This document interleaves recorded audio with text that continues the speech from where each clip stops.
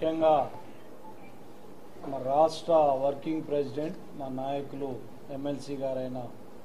మహేష్ కుమార్ గౌడ్ గారికి కంది శ్రీనివాస్ రెడ్డి గారికి భోజారెడ్డి గారికి పెద్దలందరికీ కూడా నా నమస్కారాలు.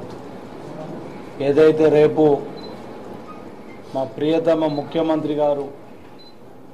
మరి తెలంగాణ పునర్నిర్మాణం పేరు మీద రేపు జరిగే బహిరంగ సభను పెద్ద ఎత్తున విజయవంతం చేయాలని చెప్పి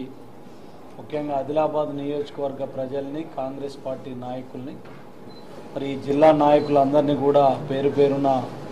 నేను విజ్ఞప్తి చేస్తున్నాను. మరి ఇప్పుడే మా నాయకులు మహేష్ కుమార్ గారు చెప్పడం జరిగింది. కరెక్ట్ రెండున్నర సంవత్సరాల క్రితం ఈ ప్రాంతం నుంచే కాంగ్రెస్ పార్టీకి పూర్వవైభవం వచ్చే విధంగా ఈ ప్రాంత ప్రజలు ఆశీర్వదించి ఇంద్రవెల్లిలో గొప్ప సభ చేసి పంపించిన తర్వాత మరి ఆ గాలి అట్లనే వచ్చేసి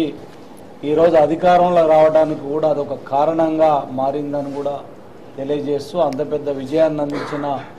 ఈ ప్రాంత ప్రజలందరికీ కూడా ధన్యవాదాలు తెలియజేస్తూ రేపు మరి ముఖ్య నాయకులు అందరూ కూడా వస్తున్నారు కాబట్టి రేపు పెద్ద ఎత్తున ప్రజలందరూ కూడా వచ్చి మరి కాంగ్రెస్ పార్టీని రేవంత్ రెడ్డి గారిని కూడా ఆశీర్వదించి కాంగ్రెస్ పార్టీ ఏ ఆశయాల కోసం ఈరోజు